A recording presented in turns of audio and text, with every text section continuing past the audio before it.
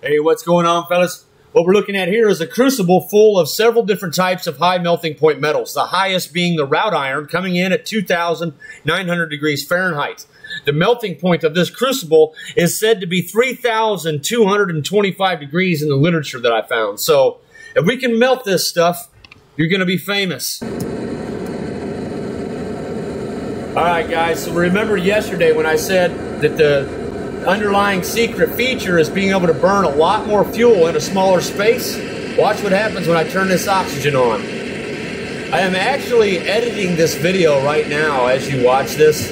I'm going to have the rest of it out in about an hour, but I just wanted to share with some of you guys who have been following this just how amazing the rocket burner is. We are blasting molten metal out of this thing like it ain't nothing. Um, the temperatures got so hot that I could not test it with the thermometer that I have, the infrared thermometer. And we melted a crucible that is said to have a working temperature on the order of 3,000 some degrees Fahrenheit.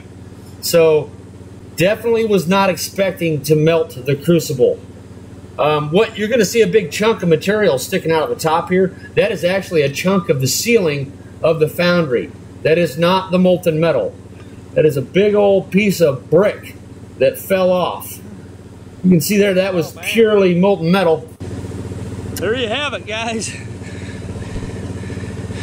We melted the damn crucible.